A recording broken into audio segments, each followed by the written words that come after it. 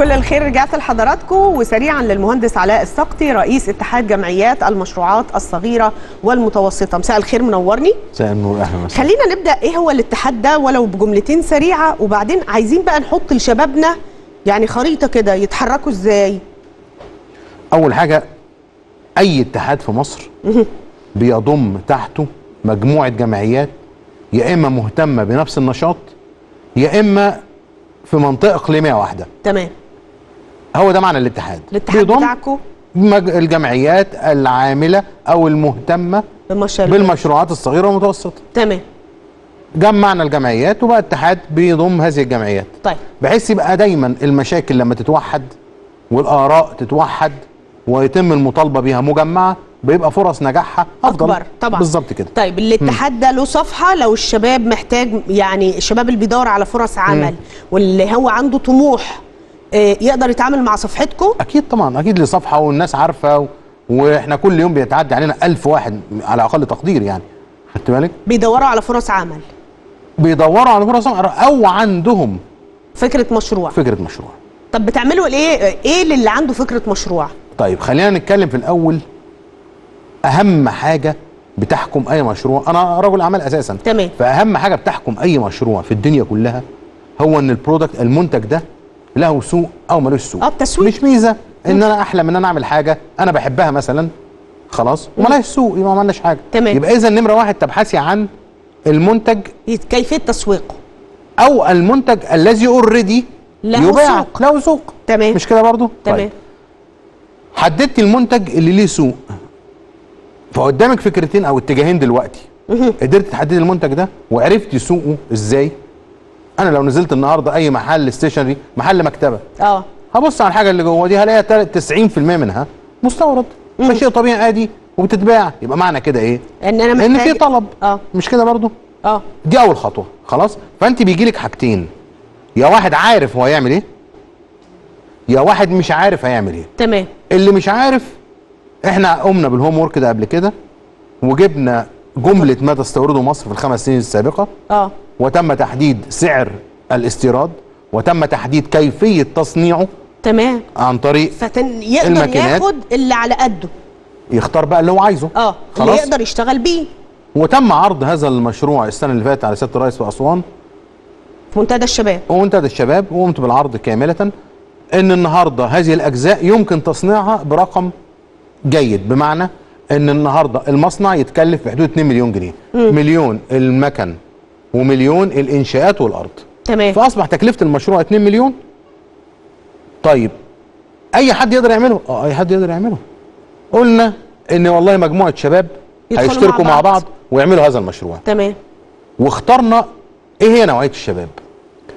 لما عملنا سكاننج على المجتمع المصري مسح كده آه. نشوف فين البطالة في مصر. لقينا إن البطالة متركزة ما بين المؤهلات المتوسطة ثم العليا. آه طبعا. يعني ماشية في الاتجاه العكسي. آه. عكس العالم كله خدي بالك. آه. آه خلاص؟ طبعا. طب ليه؟ لأن بتاع المؤهل العليا ده بيستنكف إن هو يشتغل عامل. تمام. لما يروح يخطب لما يروح يقدم مش عارف إيه العادات الاجتماعية. بتاعتنا إحنا. تمام. فقلنا طب خلاص لو المجموعة دي هي دي اللي اشتركت وعملت مشروع حتى لو نظف مصنعه فهو صاحب مصنع. آه. خلاص؟ آه. طيب هل لهم صفات؟ آه طبعا لهم صفات. يبقى فيهم واحد فني يبقى فيهم واحد محاسب يبقى فيهم واحد تسويق business يبقى فيهم واحد IT كل الكلام ده آه طبعاً. يبقى فيهم أنثى. لازم يتاخد بعين الاعتبار عشان طريقة السداد. شيء طبيعي. طيب حددت لك أنت هتعمل إيه؟ وقلت لك المكنة بتاعته فين؟ كنا متوقفين الفترة اللي فاتت على فين نقيم هذا المشروع. تمام. لحد ما الحمد لله اخذنا موافقة الهيئة الاقتصادية قناة السويس إن إحنا نعمل منطقة للصناعات الصغيرة والمتوسطه في محور قناه السويس. ياه. آه خلاص آه. تم تخصيصها. آه ودي هتبقى فيها التيسيرات بتاعة المنشآت اللي هي الأرض يعني؟ فيها كل حاجة بقى. خلاص. النقطة الثانية وهي المهمة. إحنا لما عملنا سكان على الدول المختلفة اسكتلندا وإيطاليا والهند اللي هي الدول اللي سبقت اللي في سبقتنا موضوع في ال- الخبرة دي. آه. لقينا إن الموضوع مش موضوع تمويله بس لأ. انت عندك مشاكل أخرى قد يتعرض ليها هذا الصانع الصغير. امم هذه المشاكل تكفي إنه يقفل ويمشي. امم كان الغريب إن أولها الإجراءات. آه. هو بيعجز الكبير عنده تولز عنده إمكانية طبعاً. إنه يمشي حاله بصوره أو باخرى إنما الصغير ما يعرفش. آه. فقلنا نمرة واحد مفيش حاجة اسمها إجراءات. هذا الكلاستر أو هذا المجمع له إجراء واحد في حتة واحدة. تمام. واللي جاي يشتغل ده مش مطالب إنه ياخد رخصة ولا مطالب إنه يروح ياخد قرض هو مش مطالب بحاجة. هو مطالب إنه يشتغل وينتج. ماشي. اللي أنا هقوله لك ده أنت هتحس في الآخر إنه حلم. آه. هو كان حلم. لأن أنا بقابل ناس كتير شباب آم، بيشتغلوا كلهم حضرتك عارف الفكرة بتاع العربيات وتيسير الاقتراض واخد عربية بالقسط. عشان كده المسألة دي مع إنه اقتصاد هالك. عربية متحركة ده اقتصاد هالك. بصي هقول لك حاجة. هو طبعا مما لا شك فيه العالم كله اقتصادي كله بدون استثناء قام على الصناعة بدون صناعة إنتاج. الخدمات.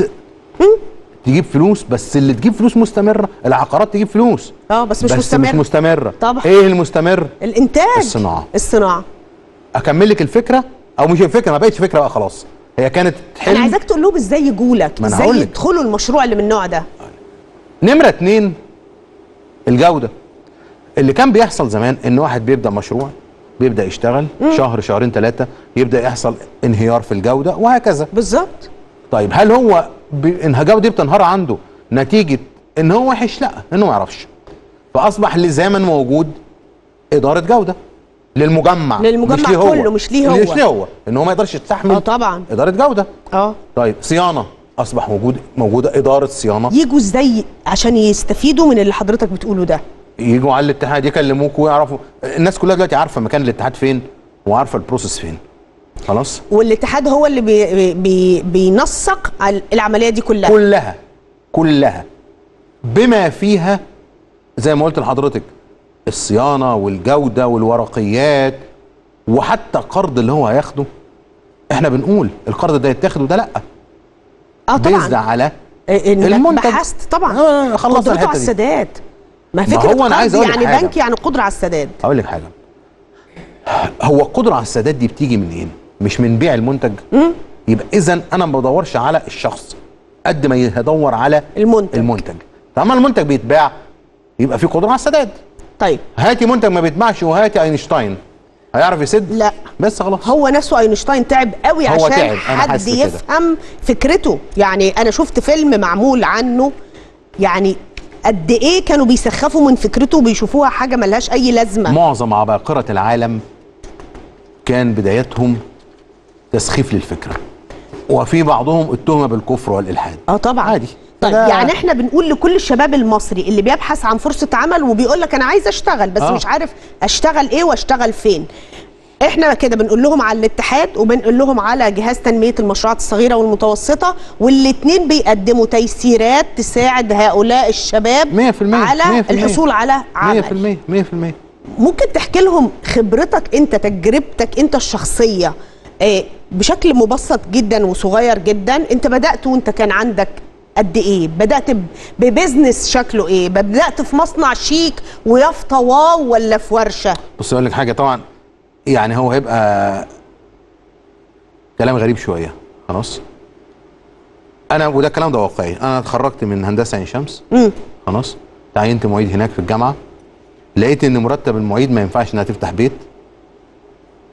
رحت اشتغلت في شركة اسمها زيروكس. مش إعلان ولا حاجة مش يعني. إعلان هي مش؟ محتاجانا آه. أصلا يعني. اتعلمت يعني إيه packaging التغليف آه. بصوره أخرى بدأت في ورشة 120 متر وعشان كده المصانع اللي أنا عاملها للشباب النهارده 120 متر. أنا التجربة اللي عشتها بطبقها دلوقتي. خلاص؟ امم بدأت في ورشة 120 متر. الكلام ده كان سنة 98 أو 2000 خلاص؟ النهارده أنت بتتكلمي في إن الورشة دي هي موجودة لحد دلوقتي كأثر. آه طبعا. خلاص؟ لا لا وشها حلو علينا. أكيد. وش حلو على- إحنا المصريين الحاجة اللي بتكون بدايتنا بنحبش آه. نسيبها. النهارده أنا الحمد لله متحكم في صناعة التعبئة والتغليف على مستوى أكبر شركة في العالم مش في مصر. خلاص؟ في العالم. وعارف أقول إيه يعني. ما شاء الله.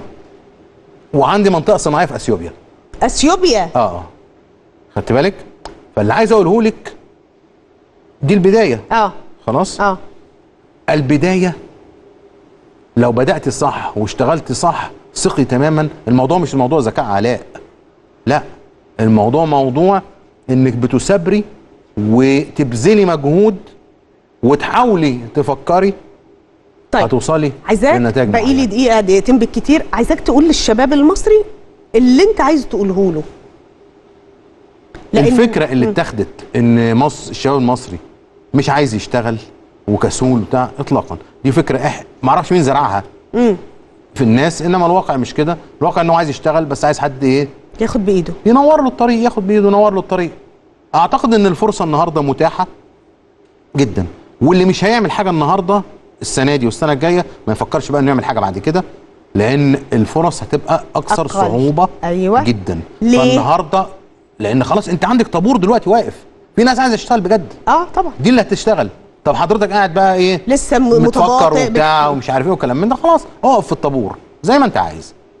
في واحد بيقف في اول الطابور وفي واحد بيقف في اخر الطابور. العبرة منهم إيه؟ مش الواسطة لا. مين اللي يصحى الصبح بدري عشان يقف في الطابور؟ بشكرك شكرا جزيلا. بجد كويس جدا العبرة اللي في الآخر دي لأنه المسألة مش الواسطة الجدية. قوم بدري وقف. مهارتك. بشكرك شكرا جزيلا آه، آه، المهندس علاء السقطي رئيس اتحاد جمعيات المشروعات الصغيرة والمتوسطة. وبتمنى إن الشباب المصري يبقى سامع حضرتك كويس وإنه العبرة إن أنتوا آه، تصحوا بدري تقفوا في الطابور عندكم مكانين قلناهم نقدر نروح ونبحث عن فرصة عمل جادة وحقيقية علشان نقدر نبدأ مشروعنا. لو تعاليت أنا بقول السنة باشمهندس علاء بيقول سنتين مش هيبقى عندنا فرص تانية كتيرة. إلى اللقاء.